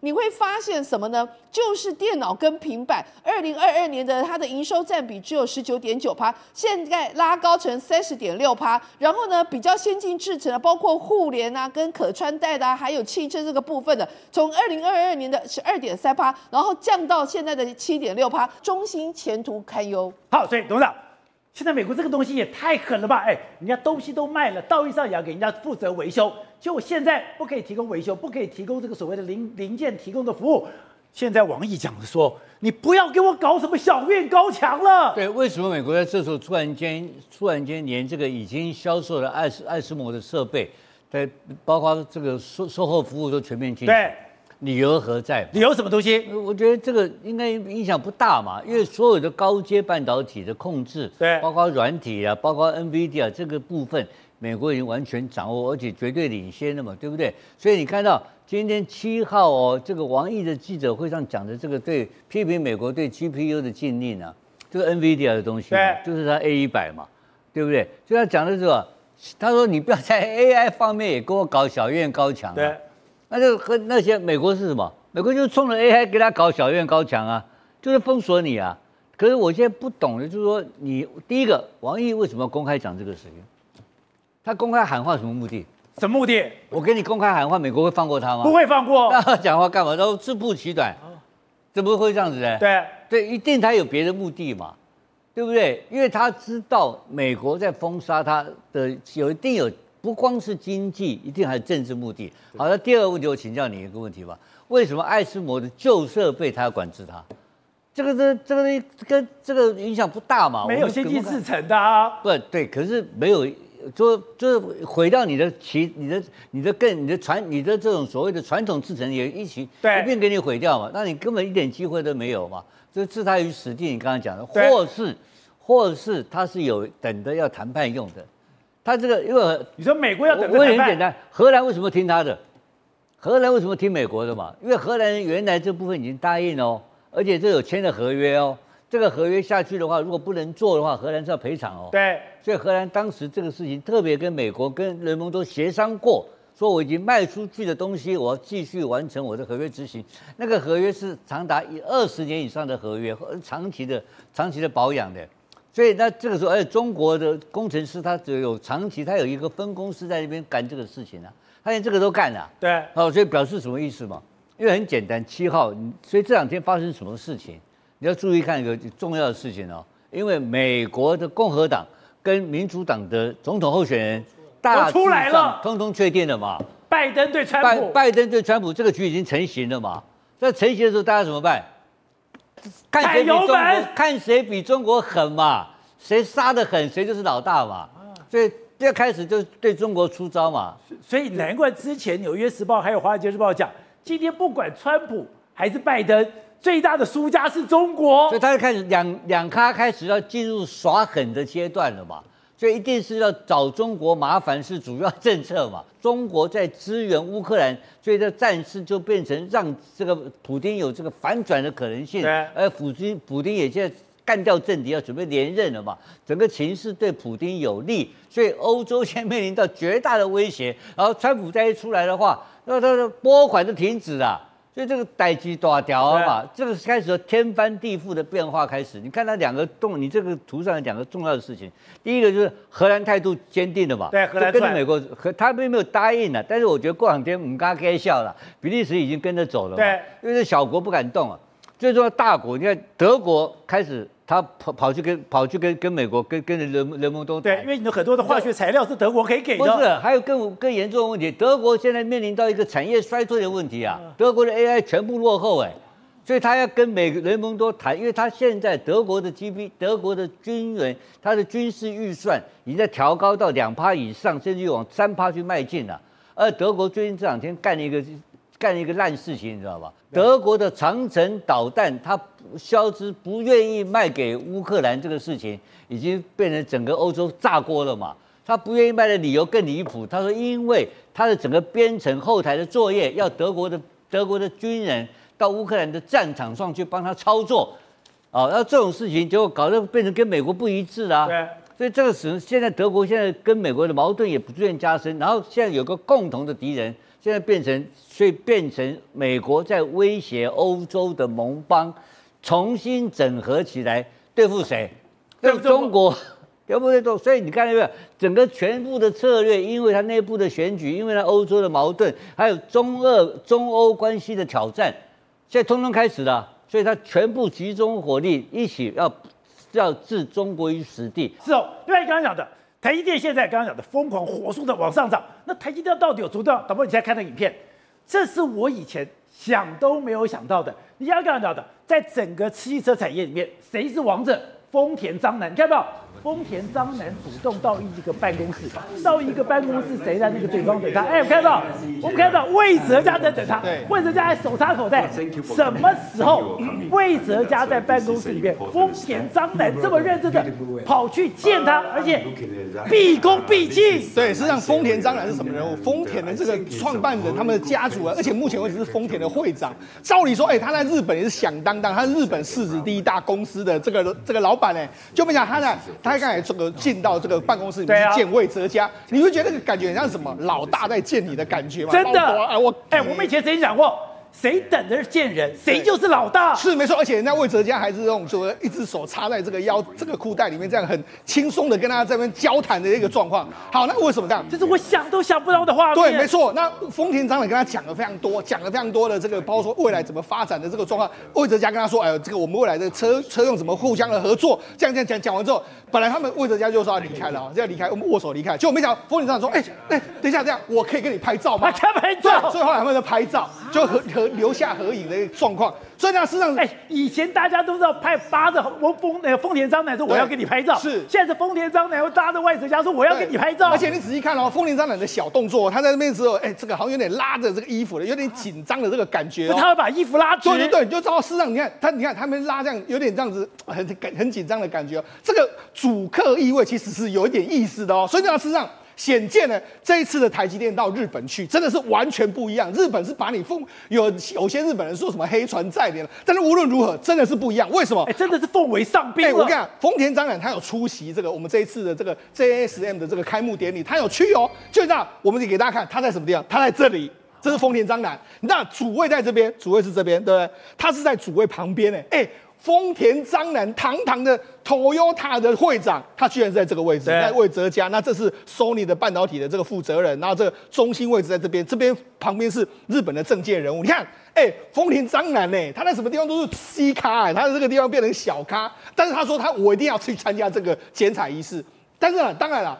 你这次来的时候呢，这个这个台积电也是给你非常多的这个让你好看。所以呢，台积电的这个除了在开幕的时候有播这个建厂的这个影片之外，还有做了说，哎，未来我们车用没这个电子怎么跟日本互相合作的这个状况。所以这个熊本厂跟车用晶片是非常密切关系的，因为在放这个熊本厂建厂晶片的时候，他们有个影带，对，影带特别强调我们在车用晶片上的制造，对，是非常注这个重视。要的那这也为什么丰田章男要来建这个魏哲家最重要原因嘛？我跟他讲。实际上，现在的这个车子还没有到电动化，在现在的这个车子里面来说，大概用到八百个这个晶片，但在未来电动化的过程里面，或全自动化的过程里面，可能现在的推估要可能要一台车要一万个晶片以上。那因为这边，哎，请问现在丰田它的晶片从哪里来？对，没有地方来，所以为什么他要去建台积电？就说，哎，我一定要跟你这个互相合作。只能跟台积电合作，对，那不能跟三星跟 Intel 吗？所以，哎，当然不行啊，宝姐。那目前为止来说，三星跟 Intel 他们这个技术能力都不太能够能够能够做下去嘛。而且这这一次的丰田，它有入股所谓的这二厂，二厂是要做先进制程的，未来是要做那种什么比较比较重要的什么 CPU 那些那些东西，哎，那些东西是没有台积电的话，其他厂商很难做得出来。为什么？我们跟他讲。像现在全世界有三家公司在竞争这个全世界晶圆代工，一个是台积电第一嘛，对不对？第二是三星，再来是 Intel，Intel 也说要跨进来。就像最近他们搞什么花样，你知道因为 Intel，因为台积电的这个技术一直不断的往上升。那三星最近干了一件事，三星就说，哎，因为我们知道明年他们准备跟台积电都二纳米要推出来，结果呢明年都要推出哦。那结果三星就说，哎，没有，我们二纳米今年已经出来了。他二纳米做出来了。对，为什么？因为他们决定把他们三纳米的第二代改名叫做二纳米。所以可以这样子吗？对他们就这样搞，所以呢，哎，我们领先台积电，还有另外一个 Intel，Intel 更好笑，它的技术能力已经做不出来，就他的先展示这个说，哎，我们已经拿到了二纳米相关的技术的这个 High NA EUV，我们已经展示出来。所以他觉得，哎，莫名其妙，他们两家公司只能够在这种所谓的这精神胜利，就说，哎，我们跟台积电的拉距越来越近了，我们追上它了。不是我七台进来有什么了不起？对啊，哎，因为为什么？这个其实这个是做二纳米，但是问题是现在 Intel 的七纳米都不会做，你二纳米这个摆个机台出来要做什么？因为显然就是为了好看嘛。那我就跟你讲，现在目前的这个状况来说的话，台积电的这个已经扩大，要决定要扩大产能，除了现在的雄北一厂。二厂之外，德国明年要动工，美国厂在进行之中。你看今天已经有可能最新的这个宣布是在嘉义要设所谓的封装厂，还有这个竹科高高雄了，还有这个很多的厂，所以台积电要大扩产，大扩产之下，对二哥或是对这个英特尔来讲，他们当然看得非常的羡慕的一个情形。是我跟你讲，日本不是被捆龙所打开了吗？对然后现在跟美国完全结成同盟吗？但这个更怪的是，现在日本居然跟英国、意大利要研发一个新的战机，而且这个新的战机，他们希望能够出口卖给人家。对，过去来讲，日本的捆龙锁因为二次世界大战的关系，所以呢，他们可以制造一些武器，但是呢，他们量的非常的小，只能自己用，或是美国给他们授权代工。但现在艾田文雄来讲了，第六代的一个战机，还要跟什么英国、意大利一起联合。第六代战对，机，然后呢，把英国跟意大利一起拉下来之后呢，第六代战对机，，告诉了大家第六代隐形战机，没，错，那这个非常先进，然后把英国跟意大利给拉进来之后呢，告诉大家说，以后或许大家有机会把这个日本的第六代战机、第六代的隐形战机送出国去。这个比 F 三十五还厉害对，？这个非常厉害，非常高科技。但是最重要的一个问题是说呢，捆龙锁被打开了之后，现在来讲，竟然要把这个第六代的隐形战机给推送出去，给推送出去代表什么意思？代表日本它的军工业完全活过来了。过去来讲的话刚刚，那个就是日本现在最神秘的 F 三，对这个东西来说的话，其实在日本他们的军工产业在日二次世界大战是非常厉害的。然后呢，它过去日本呢有一些保有美军的授权生产这些东西，仔细来看哦。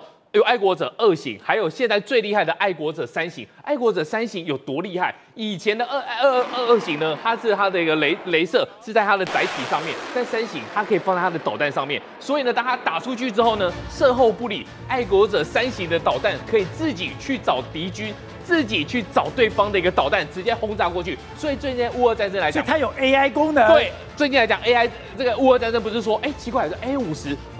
还有预警机，还有这些被打掉了三四，到底是谁打掉的？有人想说，哎、会不会是 F 十六提早进入战场？可是应该不是，应该就是爱国者三型把它打掉，自己会寻找目标对，日本做得出来。如果你让他可以把这些武器出口出去的话，那会有多厉害？因为日本过去来讲的话，在日本二次世界大战有很多大型的船坞都在日本，但是因为捆龙锁的关系不能做，所以呢，过去二十年来，就二零二三年、二零零三年之后呢，有超过一百家日本的公司退出了军工产业。现在这个捆龙锁打开之后，都回来了都回来了。而且呢，其实日本早就已经有在做预做准备。最近有一个很大的一个新闻，登陆月球，过去来讲只有军事强求强国才可以做这个事情，中国。美国、俄罗斯现在来讲有一个日本的他们的一个日本探测器叫 SLIM，竟然成功的登陆。日本现在已经有它的这个所谓的它飞行船对，降落在月球表面了。他们已经成为世界上第五个国家可以去登陆月球。这个无人的月球探测器 SLIM，它竟然可以完美的登陆，